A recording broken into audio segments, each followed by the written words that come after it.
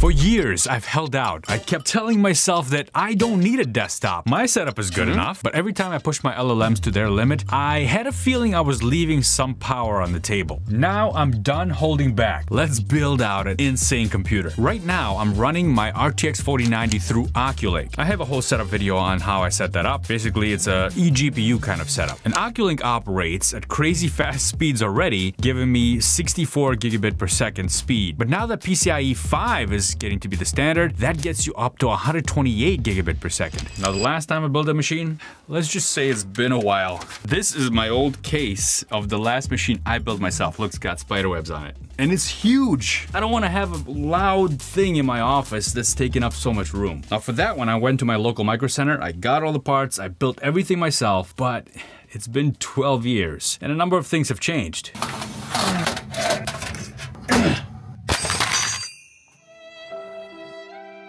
So this time I'm doing things a little bit differently. I want to eventually build my own machine, but let's just say that the component landscape has changed a lot since I've last done it, and I want to save some time this time around, and I want to learn from the pros because I don't want any accidents to happen.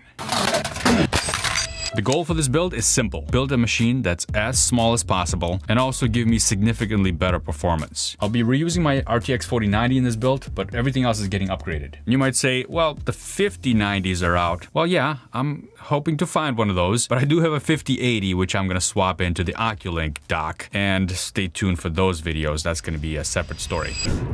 I'm going to Micro Center because, well, I love that store, first of all. And because I love that store, I'm there all the time, so it's been in my videos. So Micro Center reached out and they wanted to partner with me on a video. Now, what I'm mostly excited about is having somebody else do this for me. I mean, I've done this before, I know how to do it, but it's probably gonna take me way longer than it's gonna take them because they do this all day, every day. So they're gonna be able to put this together quickly and professionally this is how I'm going shopping. So this thing has been awesome. It's been amazing. Yeah. I love it.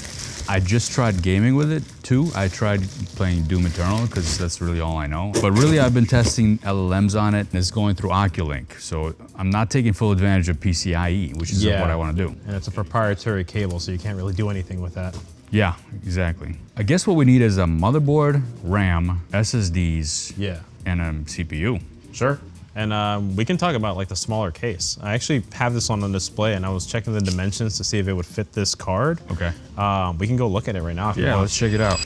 Typically when shopping for a computer build, you go with a CPU, motherboard, RAM, and things like that, the components, right? But since my highest priority is space here, I'm starting out with a case. This one's kind of nice. I like the style, but it's a little bit too big. I want to go even smaller. These kinds of larger cases are called ATX for Advanced Technology Extended. That's what that stands for. I didn't know till today. They come in these huge ATX towers. That's kind of what I had before. And then they come with smaller ATX sizes. And then there is the micro ATX, which is actually the size that I'm getting. There's also mini ITX. ITX stands for Information Technology Extended, and they're even smaller cases. Look how tiny this thing is. Very cute. Of course, these have a lot less upgradability options and a lot less space in them. And definitely sometimes an issue fitting in full-size card like the 4090 that I have.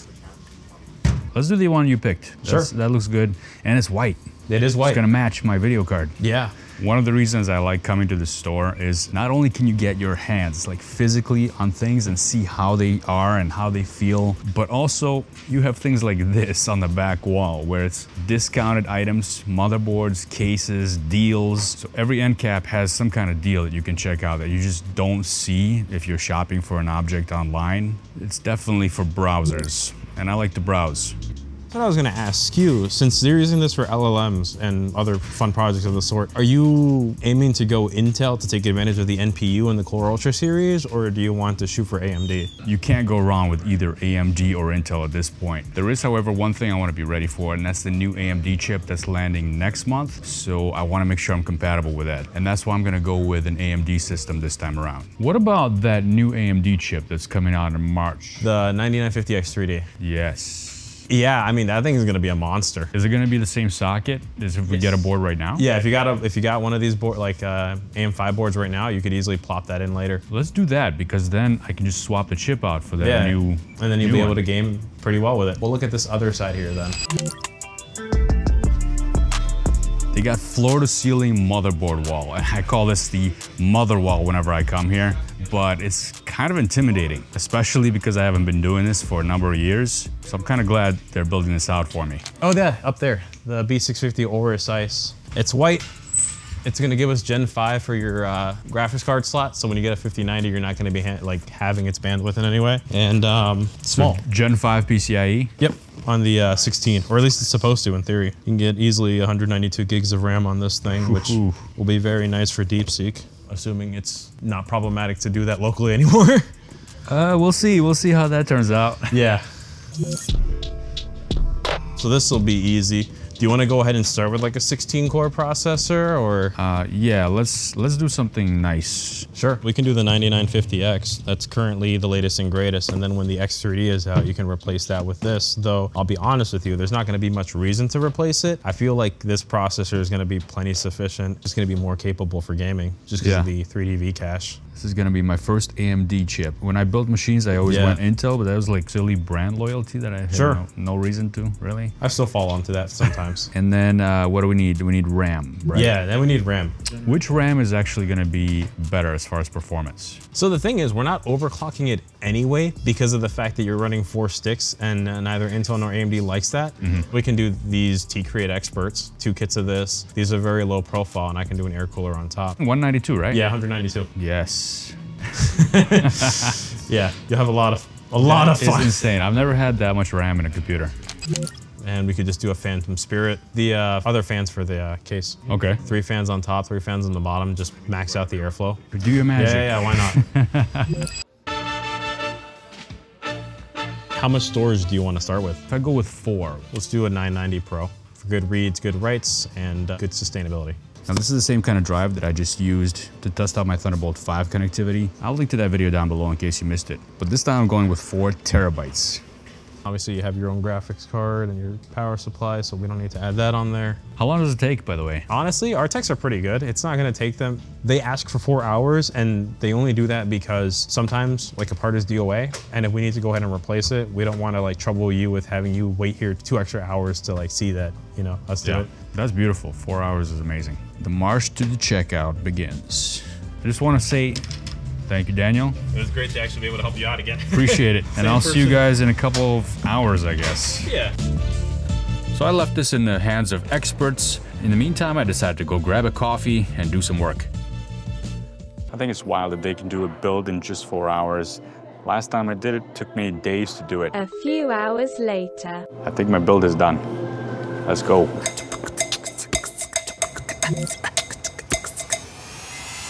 excited because that thing is pretty. Thank you, sir. I actually really like that case. If you have questions, like especially if you're just like, hey, this is happening on my PC. What's going on? Like, feel free to text. me. All right. Appreciate it. Thanks a lot. Take your time looking around in the back, and if we can do anything else for you, come back and see us. Appreciate it. I appreciate you. Looking forward to trying this thing out. Oh, I'm excited. It's always a good day. Yeah. you putting that together yourself? What is this here? That's your power supply? Yeah. Yeah. And I had one just connected to a video card, Yeah. but then I thought, okay, I'm building this out, so I might as well buy another power supply. Uh, All right, Good man. luck. Have a good one. Since Micro Center is sponsoring this episode, I give them a shout out and mention that February is BYO month. So BYO, build your own. So you can pick out all the parts and build the entire PC right from the parts they have in the store, or you can mix and match and bring some of your own, kind of like what I just did. Gonna take this puppy to the office and test it out. Let's go.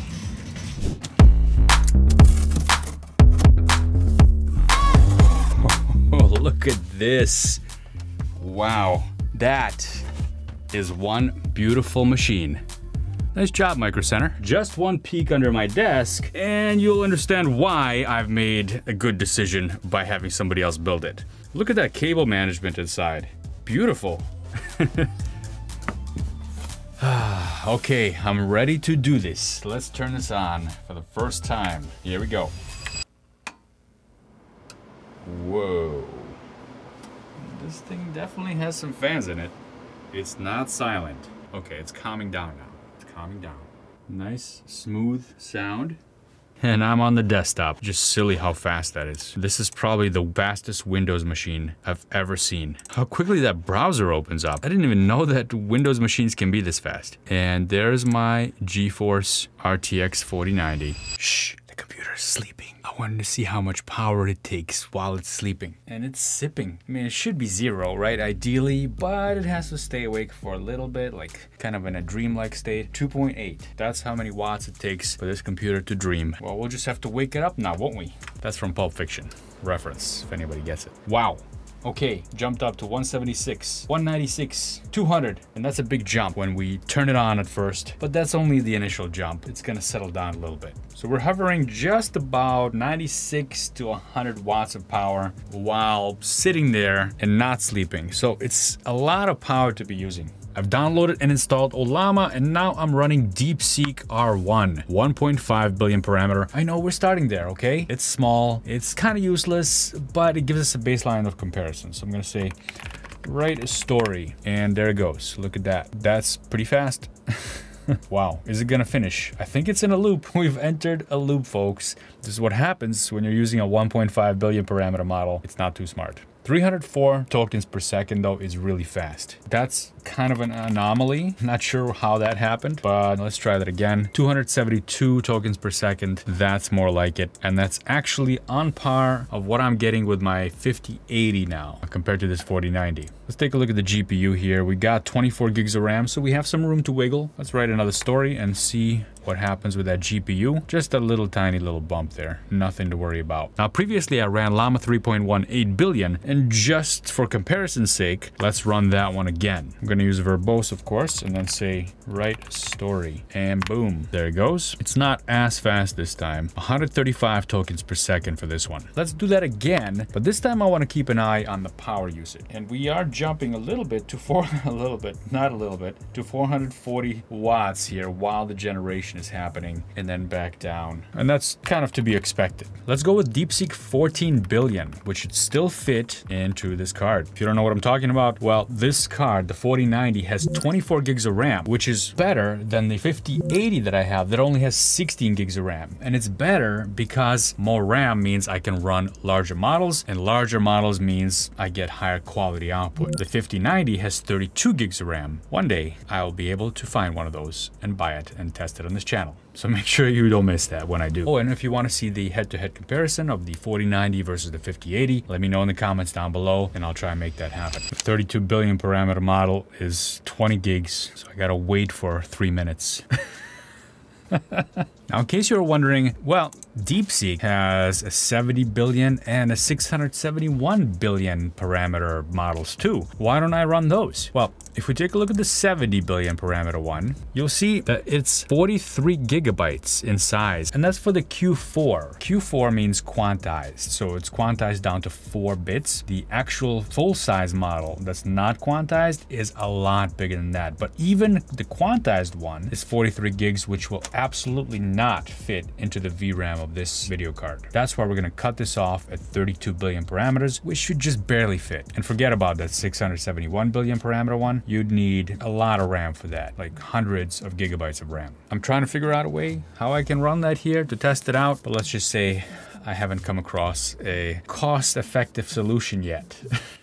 I've got both the 14 billion and the 32 billion now. 14 billion first. Here we go, verbose. Let's do a quick hello to get it warmed up. We got 80 tokens per second for that one. And then uh, let's do write story. Boom. 76 tokens per second on this one. Not too bad. Very usable. And now we're gonna do DeepSeek 32 billion. Now let's keep an eye on the GPU memory here.